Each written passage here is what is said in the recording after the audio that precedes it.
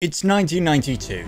The beastly Mercedes 190e Evo 2 has just won the DTM Championship after 8 years of trying, failing and trying again to grab hold of the crown. The championship's Group A regulations have given rise to some of the most famous battles between some of the most famous cars in the world. Cars that you and I might even have seen out on the street, if you're very lucky, but times were changing. DTM was looking to the future, and the future they saw didn't include the Group A formula that had enraptured fans for nearly a decade. They sought to free manufacturers from the shackles of true road homologation. The sun rose on a new era. Class 1 the rule changes proved controversial amongst manufacturers, with BMW calling it quits completely, leaving the E30 M3 in the hands of privateers only, while Opel and Audi developed new cars despite continuing to um and ah about actually committing to the championship. Mercedes, however, stood firm. Their car was great. It had just won the championship. Why make a new car?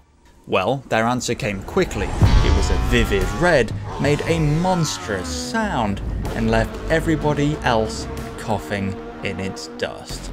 This is the story of the Alfa Romeo 155 V6 Ti. The new Class 1 rule set introduced for 1993 was a major departure from normalcy for DTM. Since its 1984 inception, the championship had operated under the Group A rules, meaning entrants had to be pretty closely related to a road car people could actually buy. The new Class 1 rules by comparison were far more lenient. The rules suggested the car's silhouette should be similar and some components of the structure and body should be similar, but crucially aerodynamic components and powertrains didn't need to be much like their road-going namesakes at all, and a couple of manufacturers saw this as an opportunity to dethrone the previously dominant forces of Mercedes and Audi if they decided they wanted to compete. I've seen the argument that the 1993 rules weren't really pure Class 1, and instead some people choose to refer to it as Group A+. However, for all practical purposes, this distinction is meaningless. Alfa Romeo was one of the manufacturers looking to try their luck. Alfa have a strong history in motorsport, and indeed a strong brand amongst car enthusiasts known for their great looks and their soulfulness, code for poor reliability of course, though in modern times I'm sure this isn't so true, it seemed that a high profile touring car series like DTM would make a great fit for the company as it sought to bolster its brand. Their new small saloon, named the 155, was clearly aimed at customers who wanted something a bit more interesting than the aging Mercedes 190 and more exotic than a 3 Series, so what better way to convince customers than to have it beat the Germans in their own racing series? Alfa grabbed a 155 and promptly threw most of it away, keeping only what they absolutely had to in order to meet the regulations, which wasn't very much. While you could buy a 155 with all-wheel drive and a 2.5 litre V6, buyers and reviewers were underwhelmed by the car, many bemoaning the fact there was no real rear-wheel drive configuration, front-wheel drive or four-wheel drive were your options. This was of little bother to the engineers working on the race car however, as the only rule really standing in their way was the engine regulations. I won't bore you too much, in a nutshell, manufacturers were limited to 6 cylinders, 2.5 litres of displacement, and the engine block had to be made out of the same material as the car's road-going counterpart. Happily, beyond this, they could do pretty much whatever they liked. So a quick valve count will reveal that the race car had double that of the road car and a new aluminium cylinder head. The 24 valve, naturally aspirated racing engine put out a substantial 420 horsepower and paired with an all-wheel drive system, the 155 V6 Ti was looking on paper to be formidable. So that's the V6 part of its name dealt with, but what does TI mean? Turismo Internazionale, which translates to international touring, and international it certainly was. Many were skeptical that the Italian outsider would really be able to compete against his super heavyweight German rivals, but Alfa weren't invited just to make up the numbers, they were in it to win it. The championship winning 190E 2.5 16V Evo 2 that Mercedes carried forward into 1993 weighed a substantial 1,340 kilograms. Alfa, not constrained by Group A homologation requirements, made a vaguely 155 shaped body out of mostly carbon fibre, bringing their car down to a dry weight of just 1,040 kilos. Mercedes may have miscalculated how urgently they required a proper Class 1 car. Okay, so Alfa had a car that weighed less, had more power, and had all-wheel drive. How could they possibly lose? Well, to save you the surprise, they didn't.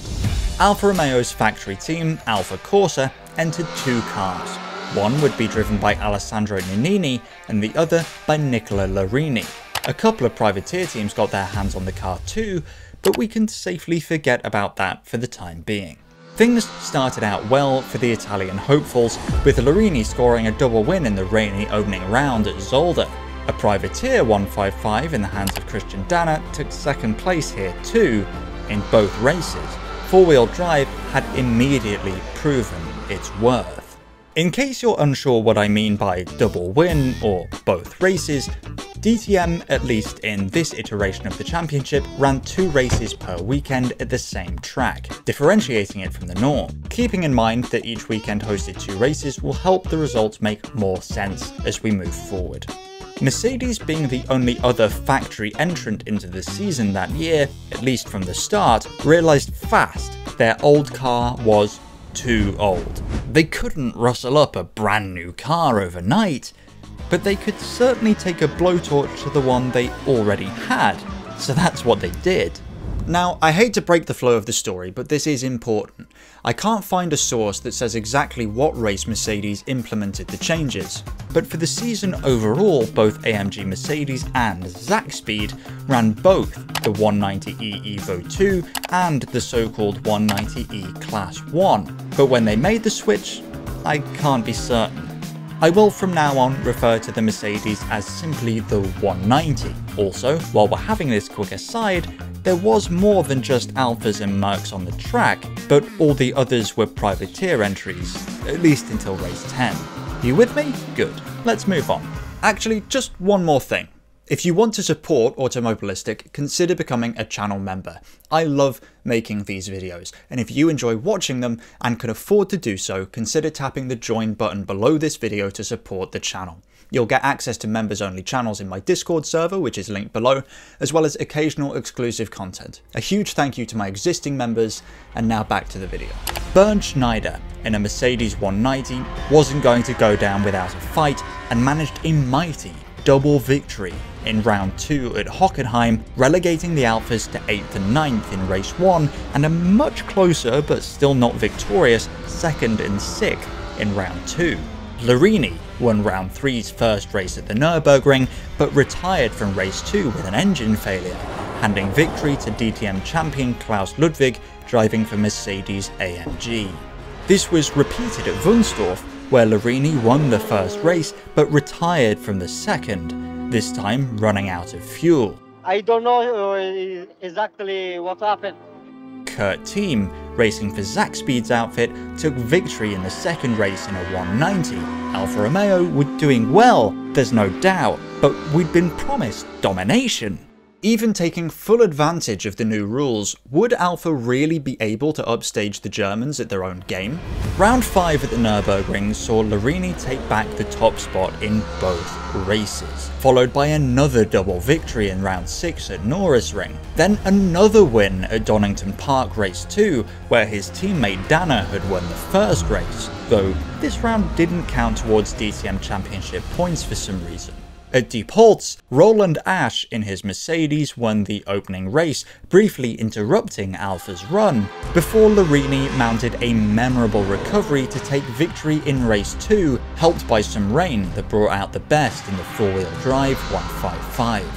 By this point, it was pretty clear that Larini was likely to take the 1993 championship, a feat that was, in hindsight, pretty much a guarantee from the beginning, given the lack of substantive opposition. Larini won the first race at Singen, conceding the next three races to Mercedes before his Alfa Corsa teammate Nannini won the final two races at Hockenheim. It had truly been Alfa Romeo's year, with Alfa Corsa driver Nicola Larini taking a well-deserved championship victory for the team, the only team to have a car truly made for the rules, and willing to take full advantage of that fact to get one over on the Germans. But how would the 155 Ti fare the following year?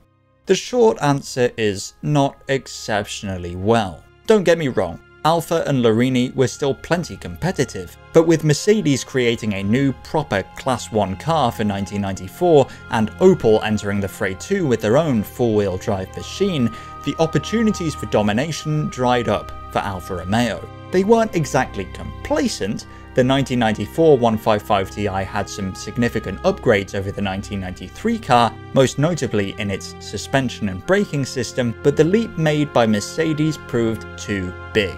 Larini managed to grab third place in the 1994 championship overall, losing to a dominant performance by Klaus Ludwig for Mercedes AMG and a slightly less dominant but still better than everyone else performance by Jörg van Ommen for Zakspeed.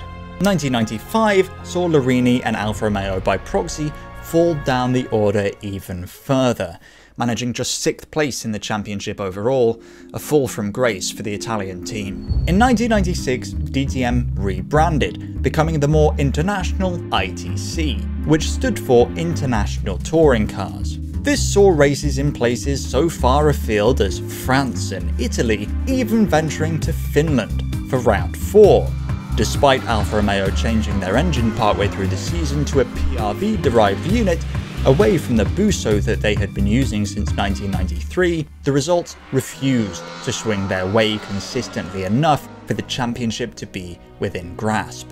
Alessandro Nannini was Alfa's man that year, with Larini posting a very disappointing 11th place championship finish, but Nannini still only managed third. The problems were bigger than that though. The internationalization of DTM, along with the supposedly freer and less restrictive rules, had seen the cost to compete soar. At the end of 1996, Alfa Romeo and Opel withdrew from the competition. As they together represented two-thirds of the competing factory teams, the championship folded. The 155 V6 Ti may not have achieved the heights that Alfa Romeo had hoped for, and it could easily be argued that the season that it did win wasn't exactly on merit alone, but I'm going to defend them here. If Alfa Romeo could sort out a Class 1 car for 1993, they shouldn't have their achievement taken away from them on the grounds that nobody else could get their act together fast enough. Would they have lost to a full Class 1 effort from Mercedes? Probably, but it doesn't matter. Mercedes was slow, Alfa was not. And let's not forget, maybe the most important point of all, the 155 V6 Ti looked awesome. Ultimately it served Alfa's goal. There's no doubt in my mind that the perception and legacy of the, at first underwhelming road-going 155 was hugely boosted by their success in DTM, even if in reality the cars only shared a name and a shape, they became cool by association. If you haven't already, you should watch this video about the Mercedes 190e Evo 2. If you have, you should watch this instead. Thank you for watching. Support the channel by becoming a member to get exclusive benefits, or just subscribe if not. Until next time, goodbye.